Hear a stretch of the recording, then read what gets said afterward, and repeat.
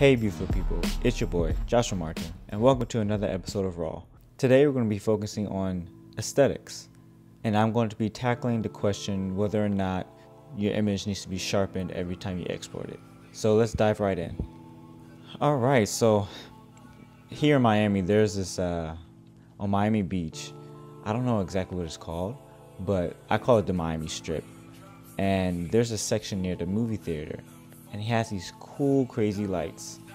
Well, not crazy, but the repetition I really like, and it has this cold uh, concrete, concrete slabs all around, and then the lights are kind of hanging down and stuff. And then there's two stores next to it, so the reflections of the lights make it um, more repetitive. So I really like that. And I was trying to find somebody who can who can fit that type of urban, industrial, cold look, but still has some street vibe to it. And so this young woman had that. And hey, I was like, hey, can I can I take your image? Now she was kind of she was kind of hesitant at first, but eventually we got some we got some good stuff out out of it.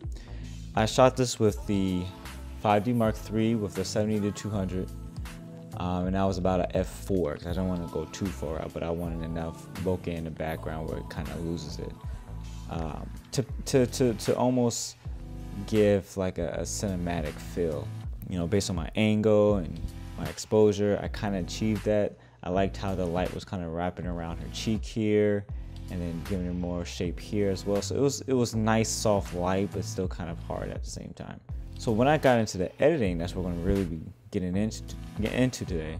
Uh, I wanted the feeling to be a little bit more cooler, a little more grittier, and I can see I brought down my um, my highlights a little bit more, so it was a little bit more muted.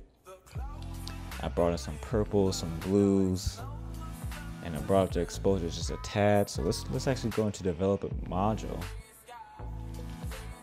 But as you can see, from my settings over this side, I brought out some of the shadows. I just crushed the whites because I really wanted that matte look and that will actually play into what I did later on down the road, down the way. I brought down some of the saturation. Now, really, this toning comes from my curve, and so I normally have like a, a quick preset of curves, and I go through and tweak it. This is from an old pack. I've had this for like a couple years now. I actually see, oh yeah, it's a VSCO, VSCO pack, and so once I got my curves where I wanted it, I started messing around my blues and things like that and introducing some purples as well. And so you keep going down and the grain section under effects. So reason why we're going to be talking about sharpening, whether or not to sharpen, I feel like a lot of times, when, well, when I was actually starting out, I sharpened almost every single image that I started to edit. And uh, later on, later on, I realized that sharpening is is a, is a personal preference.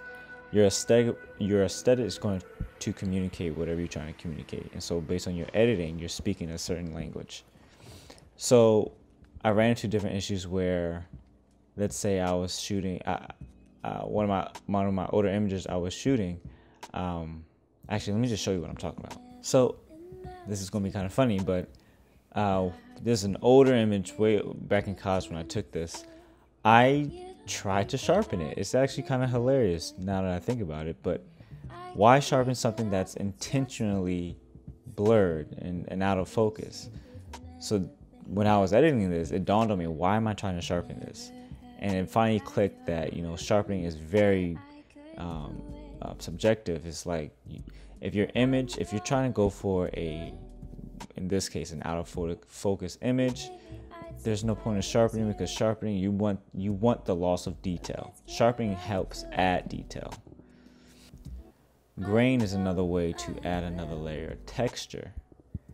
And for me to feel to for one, like I was saying, I want to achieve a cinematic look, still have the urban street vibe, that feel, and have some type of grid, some type of texture.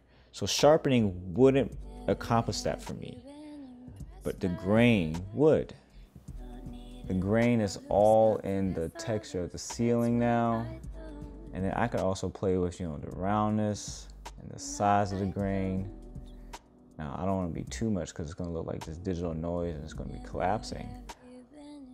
but I was really I was really impressed with the with the way the grain was being translated in Lightroom versus Photoshop for this image. So let me just kind of clear this up. um, remember that everything that you're doing in your editing, based on your aesthetic, you have you're having some type of conversation. So there's not always a right way of editing. There's the way that you need to edit based on what you're trying to communicate the feeling, the emotion, all those come into play, which help guide you how you edit. Sure, if you're doing something like event work, there might be a certain batch process that you have to do. When it comes to like your own photography, each image is going to have its own personality, and you have to cater to that personality of the image.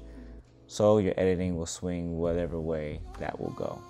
So I hope that helps. Remember to keep shooting, keep editing, keep putting yourself out there, and uh, share with me some of your images. I would love to see it. Please comment below if you have any questions. Um, yeah. All right, y'all. Deuces.